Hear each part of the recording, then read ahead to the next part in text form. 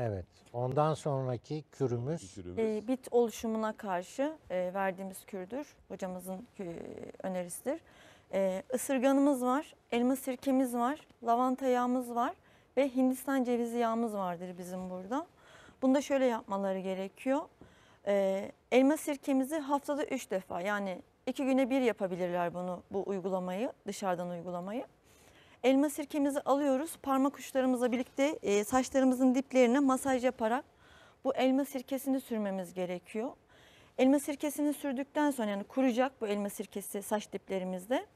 Arkasından lavanta yağımızı alıp lavanta yağımızı yine o bölgelere saç diplerimize böyle masaj yaparak uygulamamız gerekiyor. Bu e, elma sirkemiz yani doğal elma sirkemizle lavanta yağımız bir yarım saat falan kalması gerekiyor saç diplerimizde.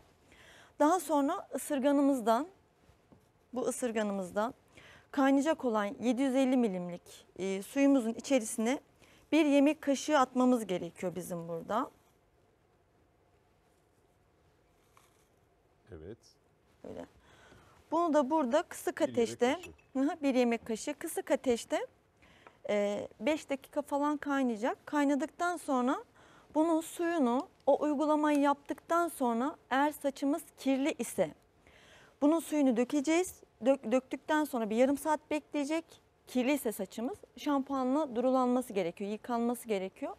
Eğer temizse saçımız bunun suyunu döktükten sonra yani yarım saat bekleyecek. ıslatacaklar. yani. Islatacaklar. Islattıktan sonra da e, e, normal temiz suyla yani şampuansız Durulayabilir. durulayabilirler burada.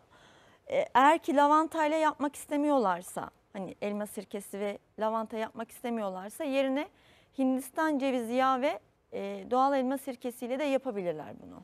Bu arada şunu söyleyeyim değerli izleyicilerimize. İşte efendim bit saçlarını temiz tutmayan, e, temiz olmayan insanlarda olur. Bu küllün yanlış bir şey. Sınıfta çocuk otururken e, bit saçtan o bir tarafa zıplar geçer yani. Bu bilinsin bunun temizlikle alakası yok. Bit mi Her kaldı gün- diye sorulabilir çünkü. Evet. Bu- bu- Yani saçınızı her gün tertemiz tutun ama bitli bir ortamda bunu kaparsınız yani. Evet. Evet.